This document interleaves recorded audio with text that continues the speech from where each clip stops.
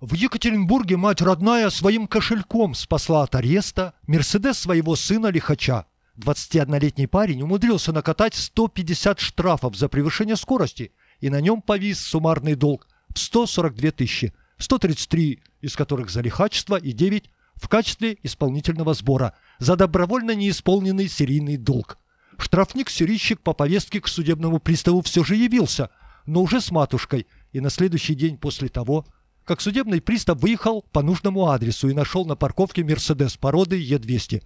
Пока он присматривался к автомобилю, который службе судебных приставов пришлось пробивать по базе данных в имущественной графе гражданина, к человеку в форме подошла женщина, отрекомендовалась матерью собственника «Мерседеса» и, узнав о том, что сын может запросто лишиться автомобиля, клятвенно пообещала оплатить все лихачества своего великовозрастного дитяти – на прием она пришла, как и обещала, с квитанциями о погашении всех долгов. И ворох исполнительных производств был махом закрыт, как фактически исполненный. Если судить по сумме неоплаченных штрафов 133 тысячи, которые на 150 нарушений ну никак не делятся, юноша на Мерсе превышал скорость не только на 20 с небольшим.